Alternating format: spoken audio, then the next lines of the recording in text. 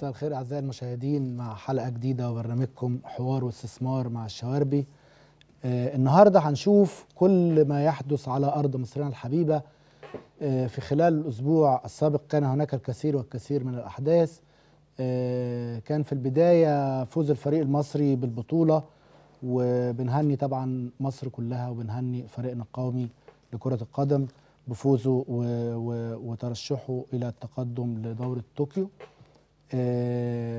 في آه، بداية آه، أخبارنا النهاردة وأهم ما يحدث على أرض مصرنا الحبيبة آه، هو المؤتمر الإفريقي الذي يقام على أرض مصر آه، استثمر في إفريقيا. المؤتمر بيقام تحت رعاية سيادة الرئيس عبد الفتاح السيسي ويمكن وجود المؤتمر ده للمرة الثانية على أرض مصر مع أن الرئيس حاليا هو رئيس الاتحاد الإفريقي بيمثل نقطة تحول كبيرة جدا لمصر لأن مصر هي البوابة الحقيقية للعبور إلى إفريقيا. آه، مصر هي قاطرة الاستثمار وقاطرة الازدهار للقارة الإفريقية جمعاء. آه، سيادة الرئيس بيرعى الحدث وفي نفس الوقت بيجذب الكثير من الاستثمارات إلى إفريقيا. آه، في البداية كان الاهتمام بعمل اتفاقية للتجارة الإفريقية داخل القارة الإفريقية ودي يمكن أول مرة حد يسعى إنه يعمل كده و- وسيادة الرئيس قدر إن هو يوصل لأن هم يعملوا اتفاقية داخلية للتجارة داخل إفريقيا بحيث إن النهاردة العالم الخارجي يقدر يشوف إفريقيا كلها ككتلة واحدة أرض جديدة خصبة واعدة بالاستثمار آه، الكثير من الاستثمارات تستهدف إفريقيا حاليا الكثير من المشروعات الخاصة بالبنية التحتية بالكهرباء بالكثير من الطرق والكباري. آه، سيادة الرئيس آه، آه، قدر إن هو يوصل لإن يبقى في طريق متكامل داخل إفريقيا يضم من البحر المتوسط حتى كيب تاون وده معناه إن الرئيس عبد الفتاح السيسي بيعمل جاهدا إلى تجميع أواصل العلاقات التجارية والاقتصادية بين القارة الإفريقية جمعاء. والقارة حتى الآن آه، حجم الاستثمارات جواها ما يتعداش ال 15% من إمكانياتها واستيعابها لحجم الاستثمار. آه، وده يمكن بيرجع زي ما سيادة الرئيس أشار آه، ان هم وقال لهم لازم يبقى عندنا بنية تحتية قوية ومجموعة من الخدمات عشان نقدر إن إحنا نستقبل استثمارات خارجية. ويمكن وجود المؤتمر داخل العاصمة الإدارية آه، في فندق الماسا أكبر دليل على أكبر دليل على إن إحنا بنقول للعالم وبنقول لأفريقيا إحنا قدرنا إن إحنا ناخد خطوة حقيقية ناحية الاستثمار على أرض الواقع. بالفعل المؤتمر مقام فيه أكتر من 2000 مستثمر ورجل أعمال وحاكم من الدول الإفريقية ورؤساء وزراء الدول الإفريقية المختلفة وكل دول موجودين داخل العاصمة الإدارية. نموذج حقيقي على أرض الواقع. مش حلم. الحلم بقى حقيقة. النهارده سيادة الرئيس إحنا كلنا بنتقدم له بالشكر على وجود العاصمة الإدارية إن النهارده أنظار العالم كلها شايفة إن دي نقطة على النجاح لمصر. قدرنا نعمل شبكة كبيرة جدا من الطرق. قدرنا إن إحنا نقدم الكثير من الخدمات. النهارده شبكة متكاملة للكهرباء. آه، استصلاح مجموعة كثيرة جدا من الأراضي بالإضافة لوجود العاصمة الإدارية الجديدة. آه، نتمنى لمصر دايما إن هي تكون وتستمر رائدة للاستثمار داخل إفريقيا و... ويمكن مصر بتختلف عن كل الدول الأخرى إن إحنا يعني يعني افرو اسيويين يعني إحنا بين آسيا وبين إفريقيا لأن إحنا عندنا جزء في آسيا وجزء في إفريقيا. فإحنا نقدر إن إحنا نجمع كل الاستثمارات اللي, اللي ممكن تتوجه للمنطقة بشكل خاص. ده كان موضوعنا الأولاني. موضوعنا الثاني في مؤتمر آه، هيقام يوم الثلاثاء القادم استشراف المستقبل. مؤتمر استشراف المستقبل هيقام يوم 26 القادم تحت رعاية آه، معالي الوزير هشام توفيق. المؤتمر بيناقش فكرة الشراكة الواقعية التي تمت بين الدولة وبين شركات القطاع الخاص والدمج بين شركات قطاع الأعمال والشركات الخاصة من حيث إدارة المشروعات وكيفية إيجاد شكل لاستراتيجية تسويقية متكاملة في الإدارة و- وفي تنظيم ال- ال- المحافظ المالية الضخمة اللي في شركات قطاع الأعمال. إعادة هيكلتها مرة أخرى والتعاون مع شركات ذات خبرة في الإدارة وفي مشروعات مشابهة بحيث إن يبقى المنتج خليط ما بين ال- ال- الجزئية الخاصة بشركات قطاع الأعمال وما بين الدولة وما بين المستثمر.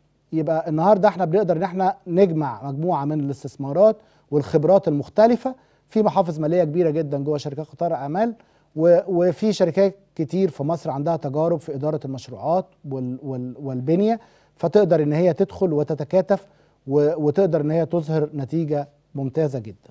المؤتمر هيناقش مجموعة من الموضوعات على رأسها موضوع الشراكة بين قطاع الأعمال العام والخاص. آه، هيكون يوم الثلاث 26 آه، القادم. آه، كمان ال- المؤتمر بيتكلم عن الصندوق السيادي وهيكون من ضمن ضيوف المتحدثين رئيس الصندوق السيادي وهيتكلم عن جدوى وجود الصندوق السي- السيادي و- وكيفية آه، الاستثمار داخله و- وإيه المستهدف منه وكيفية استفادة مصر من وجود هذا الصندوق السيادي. هنبتدي معاكم النهارده حلقتنا في موضوع هام جدا بيهم كل المصريين اللي عايشين في مصر. طبعا صعب جدا إن يكون في آه، آه، اختلاف رؤى بهذه الشاكلة لحاجة تاريخها بيرجع لعدد سنوات سابق لفترات مختلفة من الزمن وهي الخلاف ما بين المالك والمستأجر.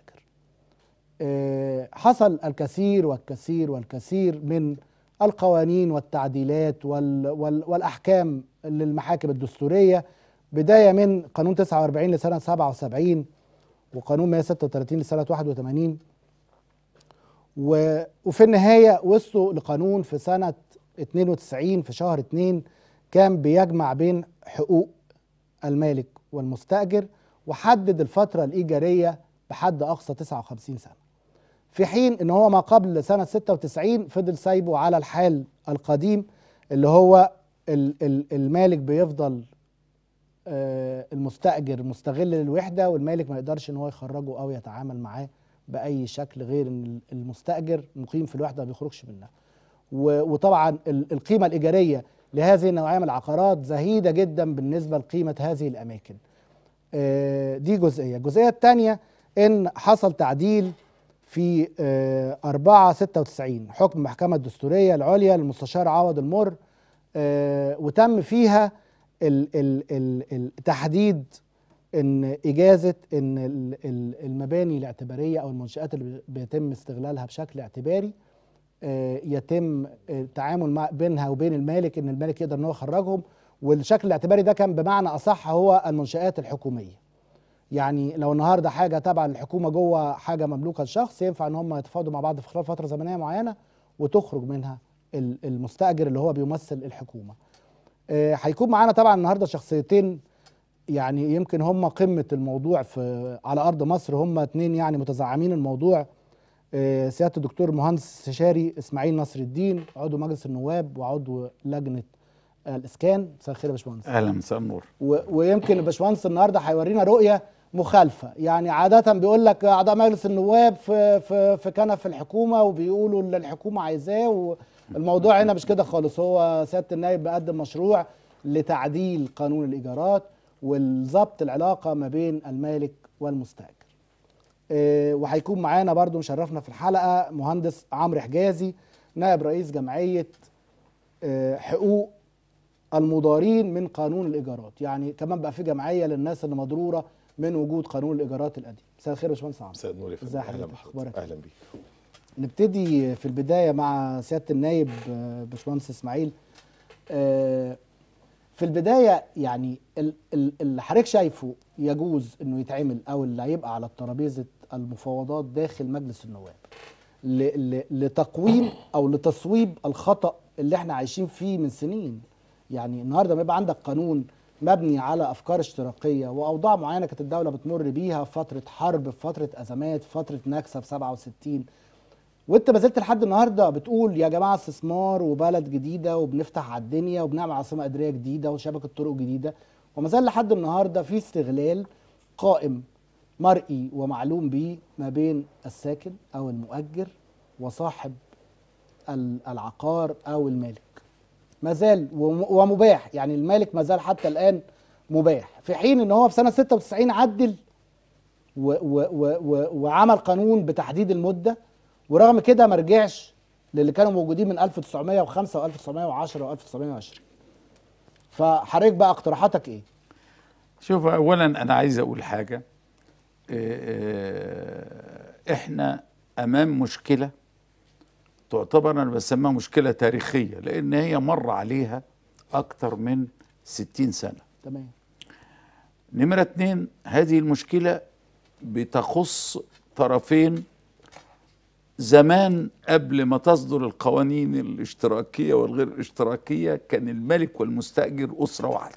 آه أصدقاء. يعني كنت تحس أن البيت ما فيش. ما تعرفش الملك مين والمستأجر بالظبط. مين من العلاقة الجيدة ومن كتر وفرة المساكن في الفترة دي كان بيقول لك. أرا- آخد بيت جديد كان بيبخروا. الشقق آه، عشان. الناس تتأجر. بالظبط آه طيب إحنا الآن في وضع آه تغير كثيرا والاقتصاد العالمي تغير أسس الاستثمار اتغيرت آه، حتى الأفكار الاقتصادية الأفكار ال- الاقتصادية القديمة. اتغيرت لكن في مبدأ لا يمكن أن يتغير وهو أن العدالة وإعطاء كل ذي حق حقه لا يمكن يتغير. ده مبدأ سماوي بيتفق مع الشريعة ومع القانون إن كل واحد صاحب حق يأخذ هذا الحق. تمام. ولا يحدث أن آه، آه، غبن من طرف على طرف. تمام. ولكن نمرة واحد الحق اللي ربنا كفله للناس يتحقق وهو الملكية الخاصة مصونة بقوة الدستور. وطبقا للأحكام والقانون وطبقا للأحكام في كل الأديان. نمرة اتنين أنا مجتمع آه، آه، آه، في ميزة أنه متدرج في المستوى اللي يقدر يعيش بإيجارات عالية جدا أو يشتري تمليك لأن دلوقتي ما كانش في زمان كلمة تمليك دي. خالص وفي بردك فئة عندي من الناس لابد أن أضعهم في الاعتبار وهم الغير قادرين. ولما كلمة غير قادرين دي لازم أحط تحتها ثلاث خطوط. تمام. الغير قادر يجب أن أحدده تحديدا قطعيا عشان هو ده اللي يستحق الدعم وهو ده يستحق إن أنا أراعيه وهو ده اللي يستحق إن أنا أعاونه.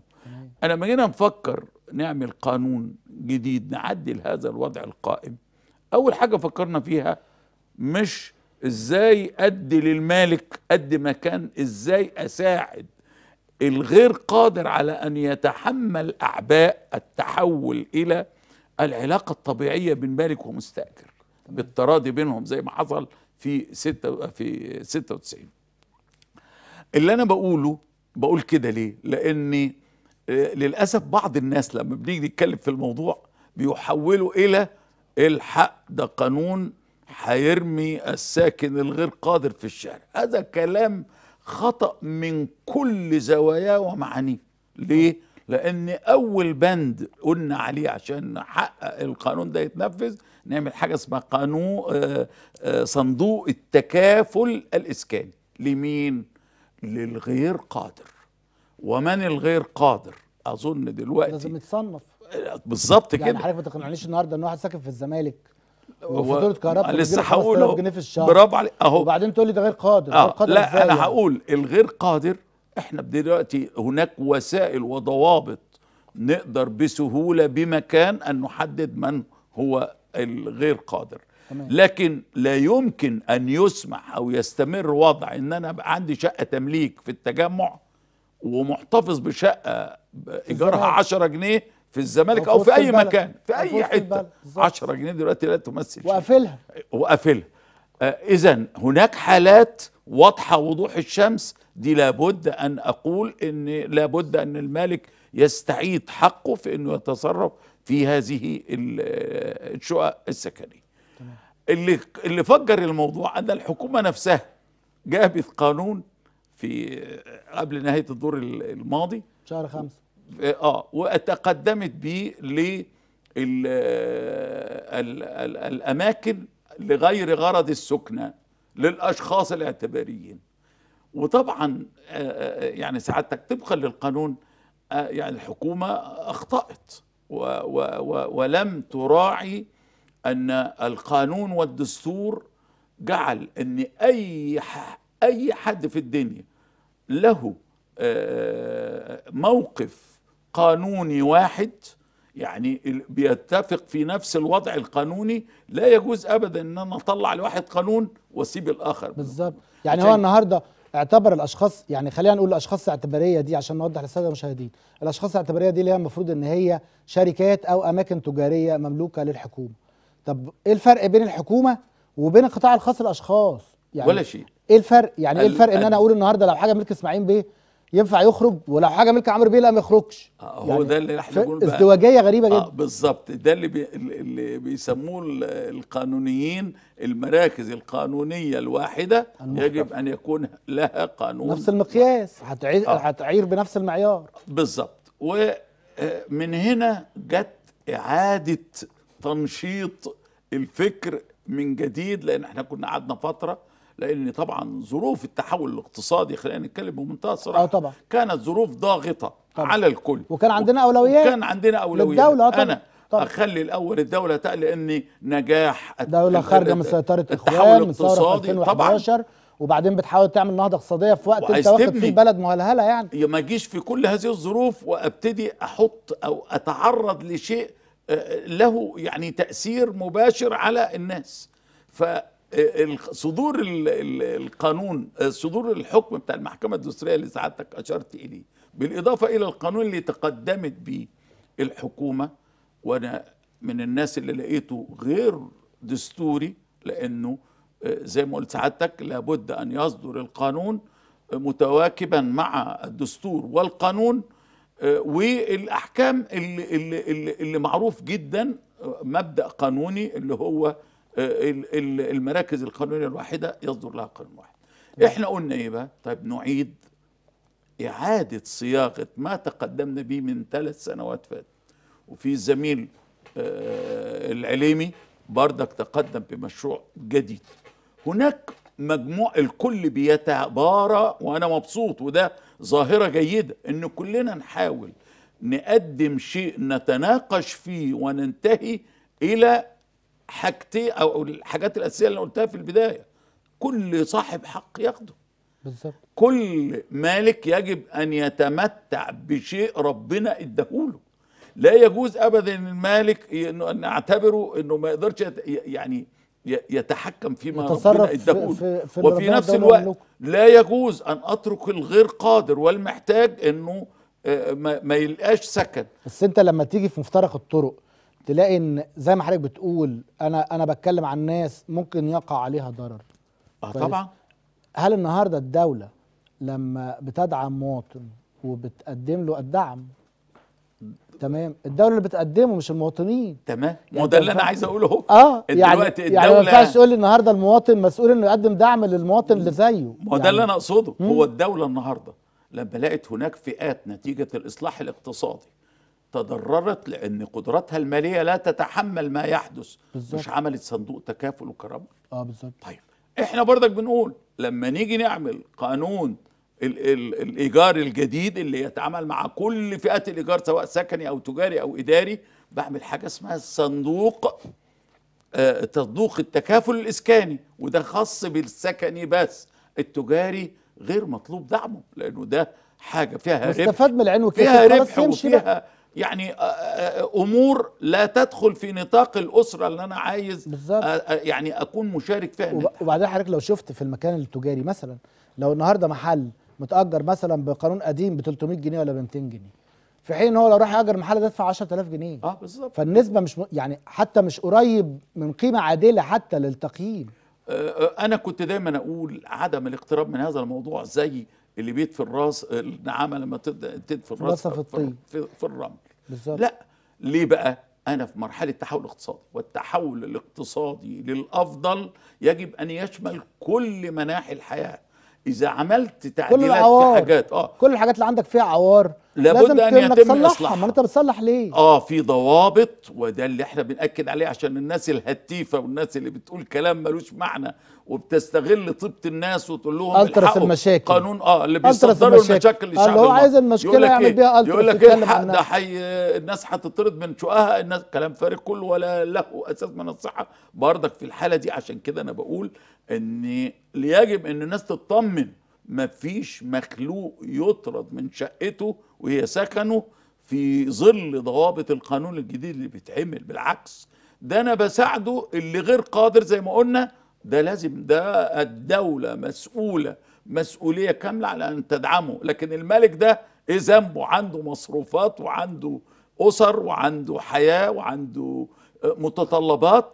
ندي الكل وعشان كده أنا بقول المبدأ يأخذ كل ذي حق. حق. ادي. اللي إحنا ده ملخص سريع للشكل العام العام. التفاصيل في النهاية ده المستهدف الله ينور اللي إحنا هو ده اللي إحنا له. بنقول بحيث نعمل التوازن نحافظ على السلام الاجتماعي بالظبط. نحافظ على أن إحنا الآن بنبني بلد من كل نواحي البناء الجيد والرئيس السيسي يعني صراحة هذا الرجل والله يعني أنا مش أنا ما بجاملش حد لكن هو فعلا تحس إنه بيعمل عشان يبني صرح اسمه مصر الجديدة. بالظبط. آه، عايز يحس إن اللي بيتعمل هو آه، بيتعمل عشان أجل مستقبل أمة. آه بالظبط. مش, مش العصر ده. ما لا نبص بقى لا للشعبوية ولا الهتاف ولا للتسليم لا بالعكس. أنا عايز أقول لحضرتك على حاجة آه، على حاجة. بلا بلا بلا منازع. يعني ده رأي موحد في العالم. طبعا. مفيش رئيس جمهورية زي الرئيس عبد الفتاح السيسي ممكن يبقى له كم الشعبية اللي كانت عنده ويجازف إنه يدخل يعمل لعبة. إصلاح اقتصادي آه. لأنه عارف إن ده بيضغط على المجتمع فبيخلي الناس تبقى شايفة إنهم مضغوطين لكن هو شايف إن ده حاجة المستقبل مش للنهاردة دي حاجة لقدام دي سمات القيادة الوطنية مش الباحث عن المخلصة ليس اللي بيبحث عن شعبوية لا لكن خالص. بيبحث عن بلد اسمها مصر تبقى أفضل للمستقبل إحنا الجيل بتاعنا مش هيلحق مش هيلحق يستفيد قوي. من اللي. بيحصل لكن بلا شك ولا ولادنا نزاع. الجيل اللي جاي وولادنا وأحفادنا هيحضروا مصر التي ستكون من أحسن عشرين دولة في العالم الكلام ده مش كلامي لا، ده ده كلام كلام منظمات عالمية. كل الجهات المنظمات العالمية والجمعيات اللي بتشتغل ومراكز الأبحاث اللي بتشتغل في الاقتصاد في العالم قالوا إن مصر 2030 ستكون من ضمن أكبر 20 دولة في 20 العالم. دولة في العالم في الاقتصاد وفي ثقافة وفي تعليم وفي كل حاجة إذا ده ده اللي بياخدنا عشان نقول يا جماعة إحنا لما بنيجي نفكر في قانون يعدل وضع غير متوازن حاليا ده جزء من النهضة اللي عايزين نعملها بالظبط. عشان يبقى النجاح شامل كل نواحي كل نواحي المجتمع صح طيب نرجع بقى للمهندس عمرو حجازي نائب رئيس جمعية متضرري قانون الإيجارات. أهلا بحضرتك. أهلا بحضرتك. طيب أنا عايز أسألك سؤال بس في البداية. يعني حضرتك آخر آه، فتوى قانونية أو آخر قانون صدر كان في 1 2 96 لا كان في 5 مايو 2018 ده ده الأخراني. ده حكم المحكمة الدستورية. تمام لا أنا بقول لك على الأولاني اللي هو كان سنة 96 تمام؟ ب- واللي اتعمل عليه مجموعة من الطعون كان آخره بقى اللي حضرتك بتقول عليه. تمام؟ إيه، العلاقة كلها بتدور حوالين زي ما كنا بنكلم سيادة الدكتور حوالين العلاقة ما بين الساكن التجاري والمالك. حتى لما شرع شرع هو- للأماكن الحكومية التجارية. آه فين بقى الساكن العادي؟ مفيش. أي يعني يعني فين أنتوا دوركم كجمعية آه أو كاتحاد إن أنتوا تتعامل 18. مع ال ال ال الساكن بقى اللي هو المؤجر طيب العادي اسمح لي حضرتك نبدأ من عند آه، ال- الحكم بعدم دستورية المادة صدر المادة 18 تمام. من القانون 4 لسنة 96 96 المادة اللي اتلغت. آه، آه، قانون آه، 136 الفقرة الأولى. آسف، ال- ال- الفقرة الأولى من- الفقرة الأولى آه. من القانون 196 لا لا المادة 100 18 136 لسنة 81 136 ده 81 آه حضرتك المادة دي جاء فيها هي دي أساس المشكلة كلها لأنها جت في كلمة لا يجوز. كويس؟ لا يجوز إيه؟ لا يجوز لل- للمؤجر انه يطلب حقه اللي هو في الأساس حق مشروع كويس في طلب إخلاء الوحدة. وجاءت على الإطلاق بدون أي تقييد. تمام. يعني ما قالتش أصل ده خاص بالاعتباري مش من حقه. وده آه، خاص مش بالسكني من وده خاص بكذا وده خاص بكذا. وهنا المحكمة الدستورية حكمت بعدم دستورية هذه هذا النص. النص هذا بالظبط النص اللي هو في الأساس جاي مطلق. طبعا. أوكي. هذا النص خاص بجميع أنواع الإيجارات اللي موجودة في في الخاضعة للقوانين الخاصة أو القوانين الاستثنائية. تمام. هنا آه، آه، آه، هذا الموضوع الحقيقة هو لب القضية وهو اللي هيحل كل ال- المشكلة. كل مشكله كلها من أولها لآخرها. ويمكن حتى لو جينا على الجزئية اللي هي الاعتبارية الحقيقة إن مجلس النواب كان المفروض خرج بتشريع لأن النهارده أنا من يوم إن- انتهاء الدور التشريعي الرابع آه، وقع الحكم أصبح نافذ قابل. للتنفيذ أسألك سؤال أنتوا ليه كجمعية ما بتقدموش على طعون على القانون يا فندم يعني- إحنا قدمنا وقدمنا كتير هو فين وعملنا- النتائج بقى. وعملنا حاجات أيوه فين النتائج يعني يعني يعني آخر أنا لا- يجب أن يجي لي يجي لي آه، آه، تشريع. أنا منتظر تشريع من مجلس النواب. ماشي بس أنت ممكن تطلع حكم محكمة دستوريه ما في ممكن في تطعن على أحكام آه بس هنا أنا يعني إحنا آخر حاجة عندنا بعض- حكم في- حكم 96 آه، آه. طب إحنا فين لا لا في في في آه، في ناس متقدمة ب- آه، أصل النهارده حضرتك المحكمة الدستورية بيروح لها القضية عن طريق آه، حد مقدم قضية في المحكمة ال- بتاخد طريقها وبعدين بتحال إلى المح إلى المحكمة إلى محكمة إلى المحكمة الدستورية. فحضرتك نص آه. نص الحكم اللي كان سنة 96 المستشار عوض المر لما طلع الحكم. أيوه قال في حدود اللي مطلوب في القضية. يعني هو كان عايز آه، يفتح الموضوع بس هم ما قدموش غير كده. يعني اللي قدم على الموضوع ما اتكلمش. حضرتك بتتكلم على أنهي نص تحديدا؟ ممكن نرجع ال للنص. ال ال النص اللي هو لغوا بيه المادة اللي انت بتقول عليها. لا يا فندم المادة اللي هم قالوا- المادة دي اتلغت في 2000 في في, في 5 في- 5 في 2018 5 2018 آه. ال- المستشار عوض المر ده اللي طلع الحكم اللي آه، هم آه، استندوا بيه. المستشار عوض المر كان خرج القانون اللي اتكلم فيه القانون اللي, اتكلم فيه على الامتداد على القانوني, القانوني لمد لمر لمده لمرة واحدة. لل- للمدة آه. واتكلم على ال- الفترة الزمنية للحاجات الجديدة. شوف سعادتك هو كان اللي حددها. القديم ده كان سايبه كده وقت. على وقت آه، المستشار عوض المر رحمة الله عليه. يعني قصدي أنتوا المفترض ان أنتوا تبقوا عندكم خطوات على الأرض أقوى من كده. لا إحنا شغالين يا فندم لا قصدي خطوات يبقى يطلع منها مواد دستورية مواد قانونية يعني يبقى في طعون إحنا على مش جاي أحكام. تشريع يا فندم لا أنتوا تقدموا إحنا آه قدمنا. قدمنا قدمنا وبنقدم باستمرار وقدمنا وقدمنا مشروع مثلاً. قانون لمجلس النواب كويس آه، ل- لإنهاء العلاقة على فترة زمنية وحطينا لها جدول أوكي؟ وإحنا كنا أول من من افترض هذا الموضوع حتى كان الكلام ده كان في مشاريع قانون مقدمة في 2009 وفي 2010 كويس؟ فكرة إن يكون في صندوق لدعم المستأجر غير قادر أو برنامج لحماية المستأجر غير القادر كويس؟ كل ده إحنا تقدمنا بيه تقدمنا بيه على على مرات وكان الحقيقة في الفترة اللي هي قبل فترة الرئيس السابق آه، حسني مبارك آه، كان مجلس النواب في ال- في الوقت دوت في آخر الد- الدورة لم يصبه الدور والموضوع بيتحط في الموضوع الموضوع ما ما آه ما تعرضش ما تعرضش. الحقيقة إن في الدورة اللي فاتت كانت المرة ال ال الوحيدة اللي فعلا الموضوع وصل وكان. على أشده ووصل إلى إلى النقاش. ولكن قامت ثورة شوية على بعض بعض الضغوط من جهات آه، آه، مستفيدة. وهنجد إن هم معظمهم كانوا من آه، تجار صيادلة منتفعين قصدك بالقانون القديم؟ طبعا طبعا. منتفعين بهذا الكلام. وكان حتى حجتهم وقتها قال لك إن أنتوا كده هتطردوا غير القادرين. أنا بتكلم في التجاري.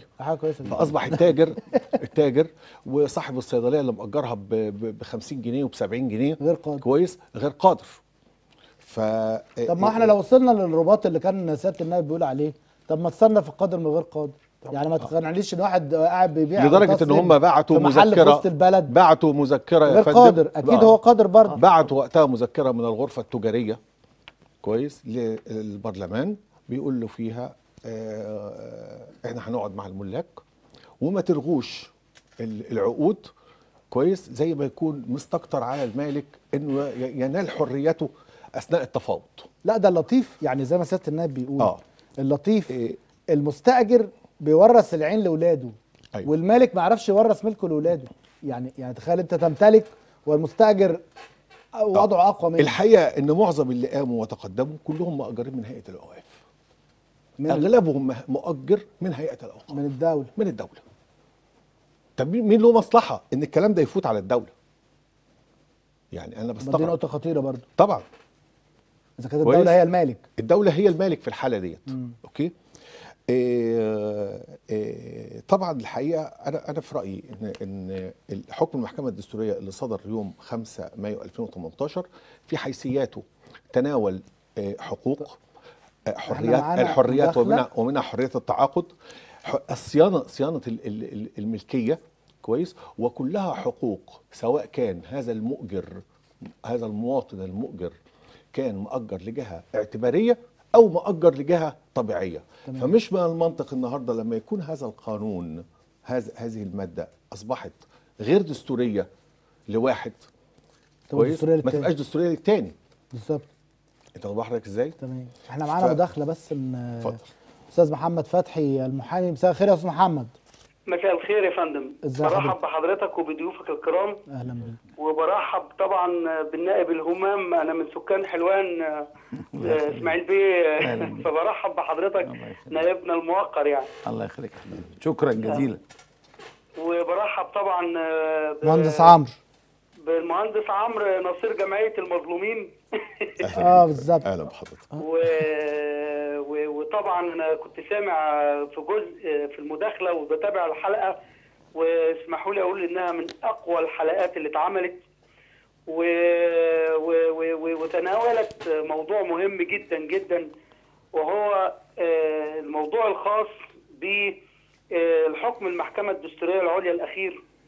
وكنت سامع سيادة النائب أو عمرو بيه بيتكلم فيه من شوية اللي هو آه، الجزئية الخاصة بإن ليه حكم الدستورية ما مشيش على بقية ال- بقية النص. بالظبط ما سيادة النائب كان لسه بيقول كده آه. بيقول لك ادام طالع حكم يبقى لازم يتساوى كل الأطراف فيه ما ينفعش يبقى طالع لفئة خاصة يعني. لا عشان عشان كان بخصوص موضوع. عشان هو الحكم اللي متقدم كان كده. بالظبط بالظبط. آه بالظبط.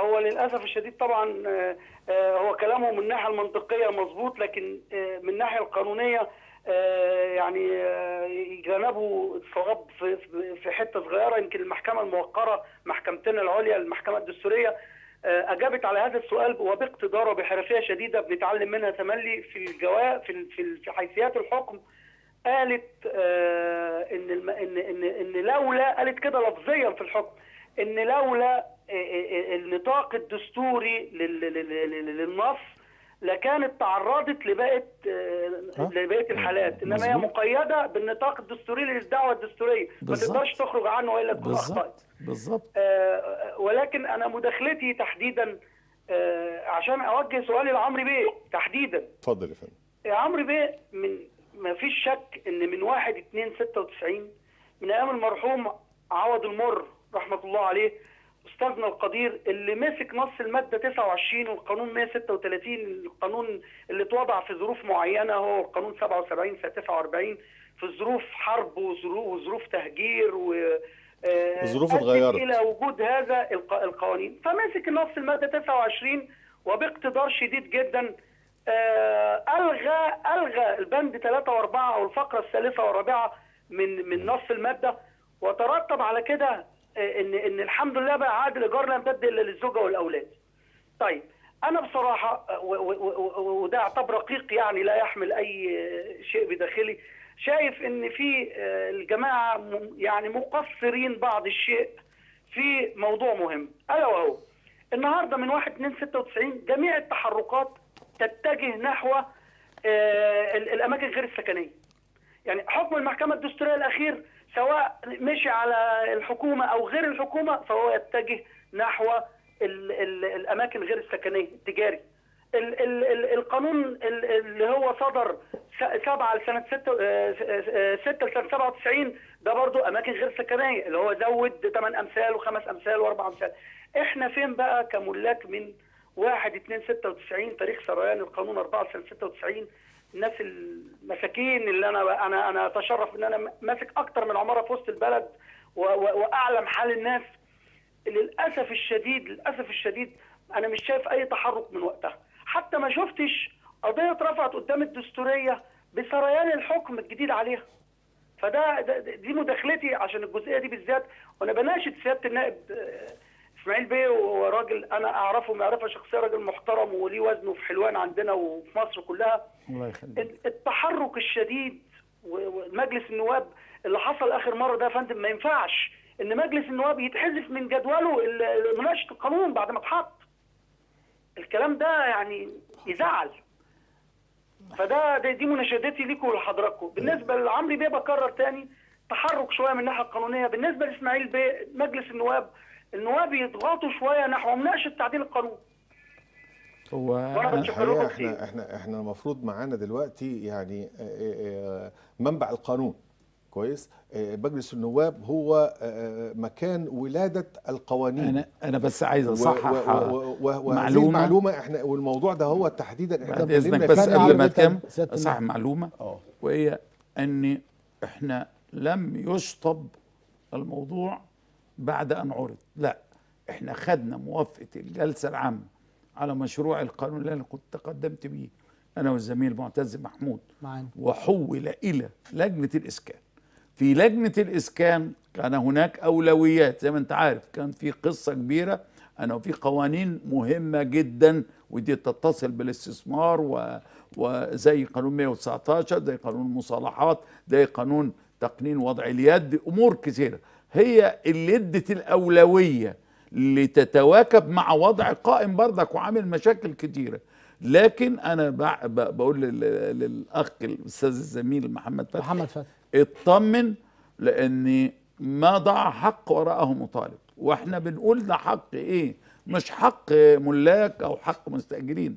حق دولة اسمها مصر يجب أن تكون كل شيء فيها قائم على احترام الدستور والقانون ورعاية كل أطراف المجتمع بالت- بالتساوي وبالتوازي بحيث دائما لما يطلع مشروع قانون يطلع محقق للهدف اللي يحقق مصلحة الجميع. اتفضل بقى الحقيقة. إن النقطة اللي اتكلم فيها الأستاذ محمد فتحي متقدم لك. بالشكر يا أستاذ محمد آه عايز. تكمل معاه في حاجة آه لا هي وأنا بس أنا بقول هي فعلا هي طيب، نقطه خليك هي نقطه. نقطة مهمة جدا جدا. لأن النهارده لما أجي أشوف الملاك اللي عندهم الجزء الإداري أو الجزء التجاري أو الجزء الاعتباري عددهم لا يقدر بأي عدد خالص جنب العدد الأكبر اللي هو السكني. السكني السكني. آه. السكني والحقيقة أنا عندي مشكلة السكن أصبحت مشكلة كبيرة لأن أنا النهارده المساكن دي ما بت- ما بتتعرضش لأي صيانة أو حاجة زي كده اهوت فهي بالتالي معرضة باستمرار للانهيار وإحنا بنشهد مسلسل السؤال انهيار الجاي بقى مسلسل انهيار مستمر حتى.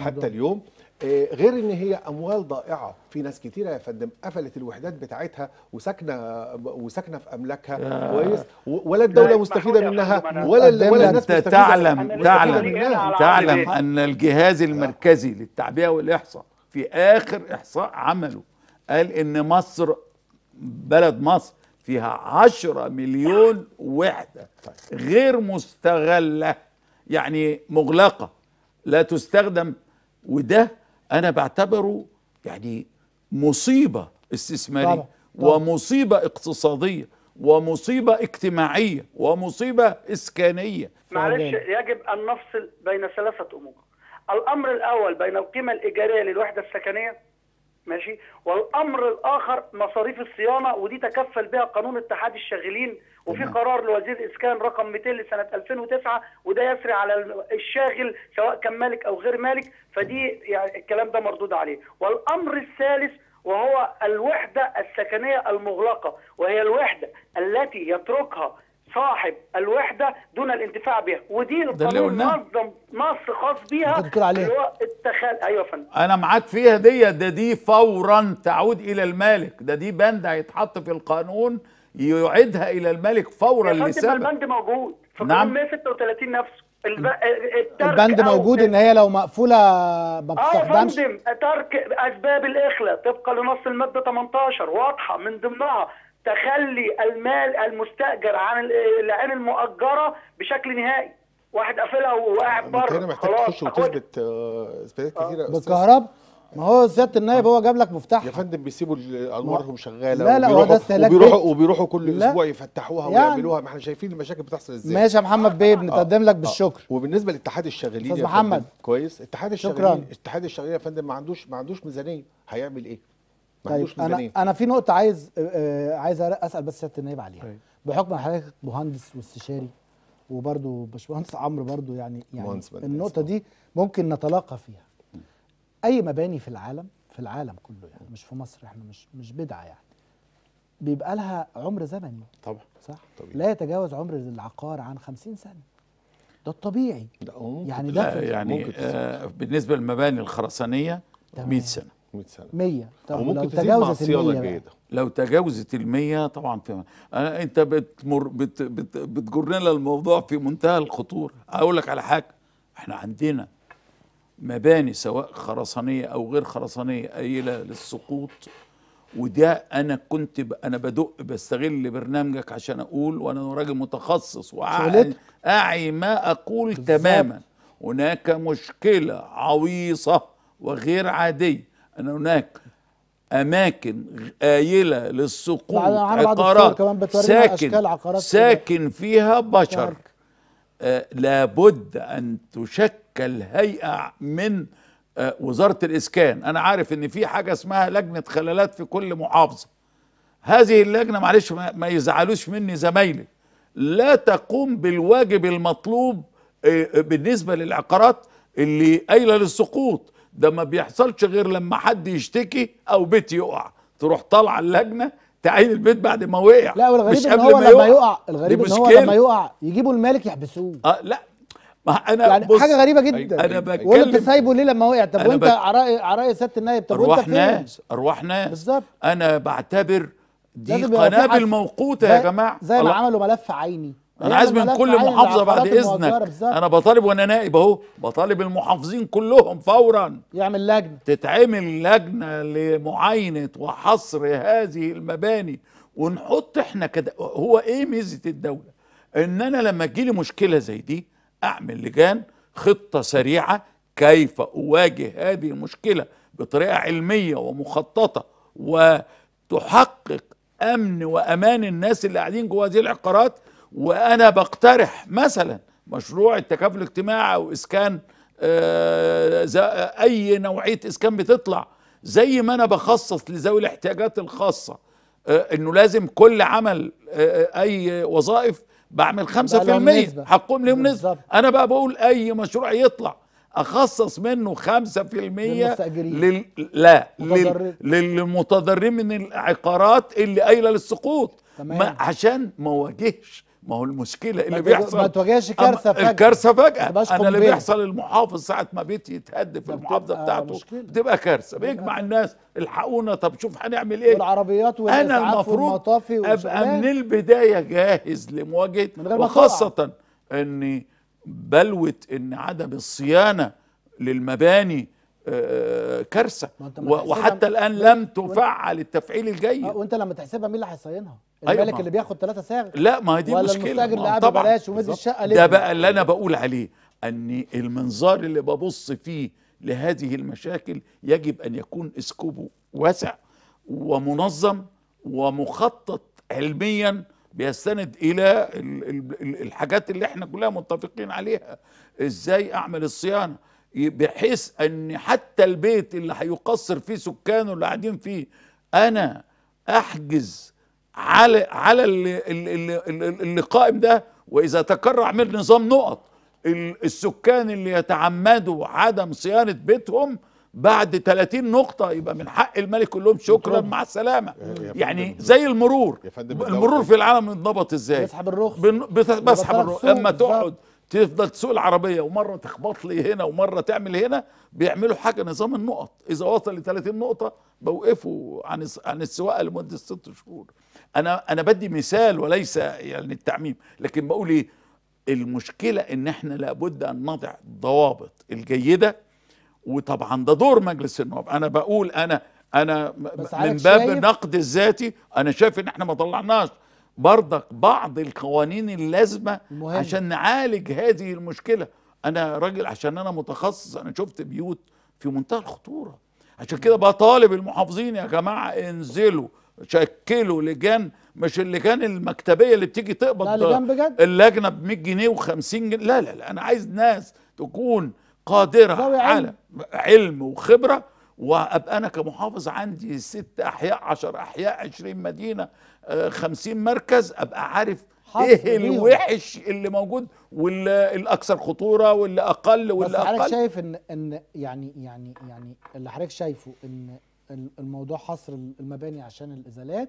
طبعا. وال- والنقطة ال- الأهم إن حضرتك شايف إن تدبير. إن تد- تدبير العلاقة بين المالك والمستأجر لفترة زمنية وبعد كده المستأجرين يبقوا يبقى باختيار المالك، يعني يعني المالك هو اللي يحدد بقى العلاقة بينه وبينه. آه يعني ما العلاقة بالتراضي ما بينهم. بالتراضي. بالتراضي لأن أنا بقول لك لو اتفتحت ال 10 مليون شقة ولو اتعملت الإيجارات العادلة ولو دعمنا الغير قادرين عشان يقدروا يعيشوا هي لو الماضي- اتعمل لها إعادة عمل- تقييم زي ما حضرتك كنت آه بتقول كده قانون جديد. عارف إيه اللي هيحصل.